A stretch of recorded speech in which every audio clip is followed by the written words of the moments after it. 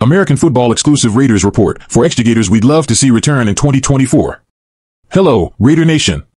Get ready for some exciting news as we prepare for one of the most chaotic weeks on the NFL calendar, La Agencia Libre. I'm your host and I bring you the latest news about possible changes in the game for our beloved Las Vegas Raiders and what will happen will surprise you. But before all the details, leave a like and subscribe to the channel if you are a true Raiders fan.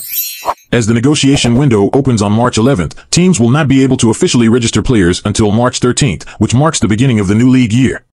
With solid salary cap space available, new general manager Tom Telesco and head coach Antonio Pierce have a wealth of options, targeting top-tier free agents such as Chris Jones, Christian Wilkinson, and Calvin Ridley. But wait, there's more.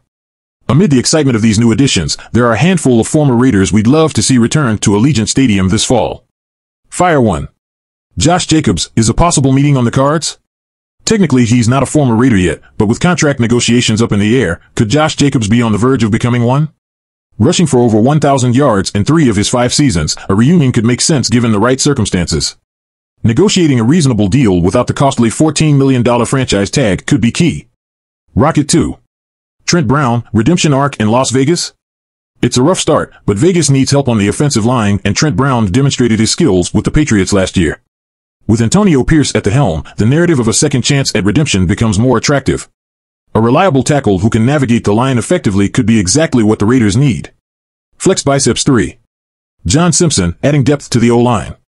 Depth on the offensive line is crucial and John Simpson brings reliability.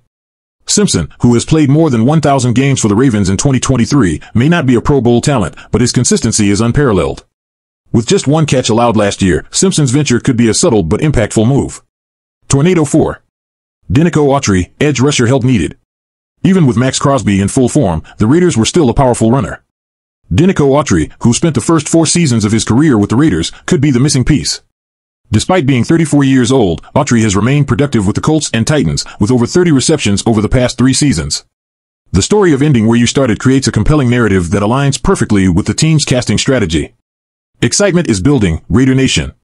Will these extrigators make a triumphant return to the silver and black? Stay tuned as we bring you the latest updates during this electrifying free agency period. Hit the like button, subscribe, and join us in anticipating an exciting return of the Raiders. Pirate Flag Fire.